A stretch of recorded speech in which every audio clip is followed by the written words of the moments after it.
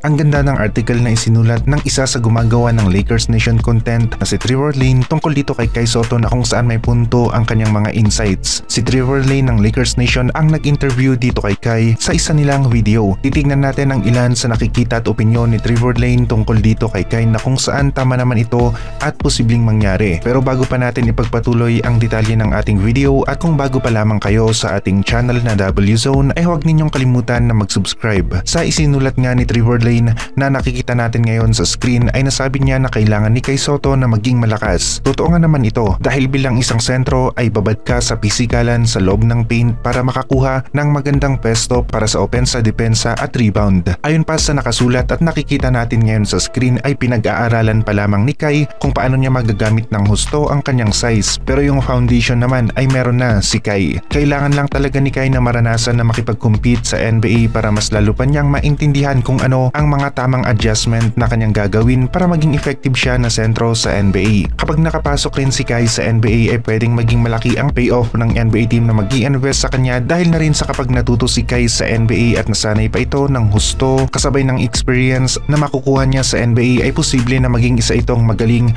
na role player ng isang NBA team. Ito rin ang nakikita ni Trevor Lane na kasama sa isinulat niya ang pagkakaroon ng malaking payoff ng NBA team na kukuha kay Kai kapag nabigyan nila ito ng tamang gabay para magamit niya ng husto ang kanyang size. May pag-asa talaga si Kai na makapasok sa NBA dahil sa kanyang magandang mobility at size at alam naman natin na marami sa mga NBA teams ang mayroong 7-footer na kabilang sa kanilang roster na hindi nila masyadong ginagamit sa laro at dinidevelop pa lamang nila ang mga ito. Pwedeng ganito rin ang mangyari kay Kai ngayon kukunin ng isang NBA team at bibigyan ng pagkakataon na patunayan ang kanyang sarili sa NBA dahil gaya na rin ng isinulat ni Trevor Lane ay pwedeng maging malaki ang payoff ng NBA team na mag invest dito kay Kai kapag nabigyan ito ng tamang paggabay at oras para sa adjustment nang sa ganun ay lumakas ito ng gusto. May mga skills na si Kai na pwede niyang magamit sa NBA at yung size talaga niya ay pang NBA rin. Ang mahalaga sa ngayon ay maipakita ni Kai kung ano ang meron na siya sa mga paparating na workout niya sa mga NBA teams. Muntik na nating makalimutan hindi lamang ang possibility na maging isang magaling na role player si Kai sa NBA kapag nakapasok siya at nabigyan ng magandang training program para magamit niya ng gusto ang kanyang size. Ang isa pang makukuha ng NBA team na mag invest dito kay Kai Soto ay ang suporta ng karamihan ng mga basketball fans dito sa Pilipinas. Dahil na rin sa pagdating sa popularity ng basketball ay pangalawa ang Pilipinas sa mga bansa na sikat na sikat ang larong basketball. Sunod sa bansang US na nangunguna dahil na rin sa bansang ito nakabase ang mga NBA teams. Bago magsimula ang mga workout ni Kai sa iba't ibang NBA teams ay patuloy pa rin ito sa pagsasanay at pagpapalakas ng mga strength at weaknesses niya sa laro dahil masusubukan talaga si Kai simula sa May 23 ang nakatakdang umpisa ng kanyang mga workout sa iba't ibang NBA teams.